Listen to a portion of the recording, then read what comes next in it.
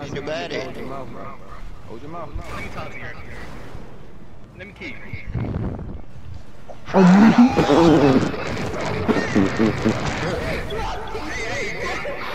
Yay!